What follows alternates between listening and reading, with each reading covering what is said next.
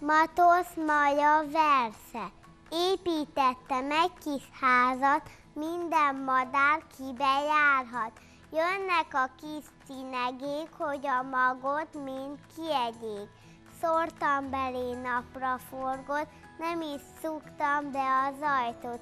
Tárva nyitva vendéget vár, ahány madár mindére jár. Állva fázva bekopognak, ablakomba topodognak, cipegetnek, eszegetnek, jó lakottan tovább mennek.